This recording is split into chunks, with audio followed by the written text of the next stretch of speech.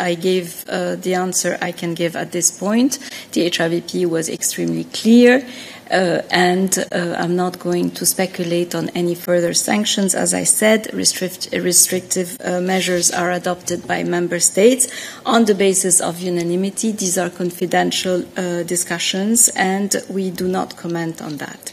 Um, on uh, Norway, uh, the HRVP, as I said, uh, as you have seen, has strongly condemned the decision by the government of Benjamin Netanyahu to revoke the diplomatic status for Norwegian uh, diplomats dealing with the Palestinian authorities. This decision uh, is extremely contradicts the spirit of the Oslo Accords.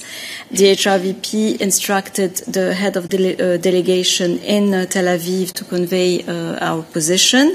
Uh, you know that as the chair of the ad hoc liaison committee involving both Israel and Palestine, uh, Norway has played a major role in the Middle East peace process, and this is extremely important for the EU. Um, and we do stand with our full solidarity with Norway. As for what you were referring to, I have to go back and uh, check uh, uh, what were the kind of reactions we had.